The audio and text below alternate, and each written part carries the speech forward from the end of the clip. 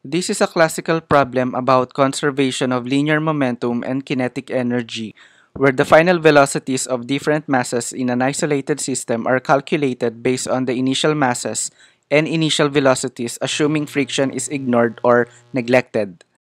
A 10.0 gram ball slides to the left with a speed of 0.5 meters per second on a frictionless horizontal surface and makes a head-on collision with a larger 30.0 gram ball sliding to the right with a speed of 0.2 meters per second. If the resulting collision along a straight line is perfectly elastic, what is the velocity, magnitude, and direction of each ball after collision? Consider the following visualization of the problem. Before collision, we have ball A going to the right with velocity of positive 0.2 meters per second. It is positive because it is going in the direction of positive x-axis. On the other side, we have ball B going to the left with velocity of negative 0.5 meters per second. The velocity is negative because it is going in the direction of negative x-axis. Ball A has a mass of 30 grams and ball B has a mass of 10 grams.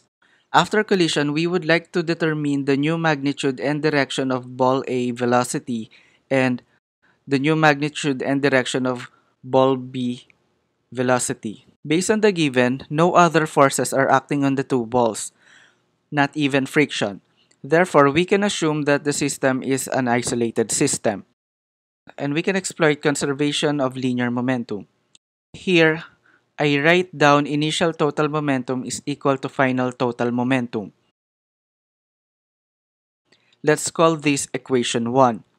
Note that I can represent these terms as P sub i which means initial total momentum because we can calculate this sum since all the values here are given and it is equal to P sub i equals 0.001. Let's rearrange equation 1 in such a way I can factor out mass sub A and mass sub B. Let's call the resulting equation as equation 2. Based on the given, the collision is perfectly elastic. When you have elastic collision, the kinetic energy is conserved. In other words, the initial total kinetic energy is equal to the final total kinetic energy. Let's multiply both sides of the equation with 2 to get rid of 1 half. Let's call the resulting equation as equation 3. Let's rearrange equation 3 so we can factor out the masses and factor out the square terms.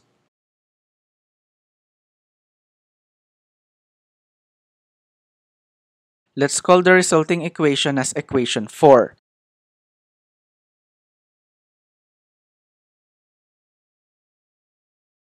Then divide equation 4 with equation 2.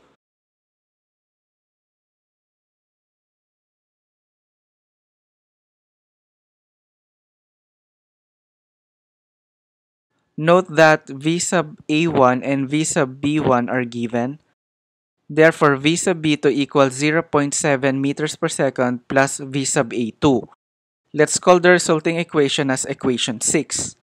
Plug equation 6 to equation 1 and we obtain V sub A2. The final velocity of ball A is negative 0.15 meters per second. It is negative which means that the result is consistent with the fact that ball A is going to the left after it collides with ball B.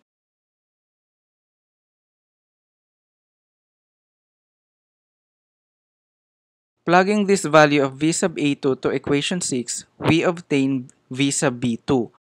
The final velocity of ball B is positive 0.55 meters per second. It is positive which means that the result is consistent with the fact that the ball is going to the right after the collision. Please subscribe to my YouTube channel. Thank you for watching.